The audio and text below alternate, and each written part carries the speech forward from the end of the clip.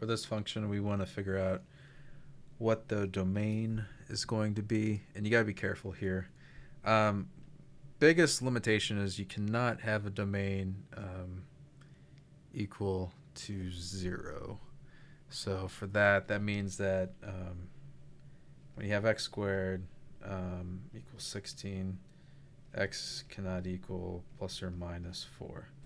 So that means x can be anything from negative infinity to negative 4 in unison with um, negative 4 to 4 and then in unison with um,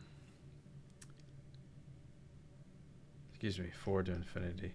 And what that means is the parentheses it means everything up to very up to uh, 4 so um, all reals with the limitation that x cannot equal um, negative 4 or 4.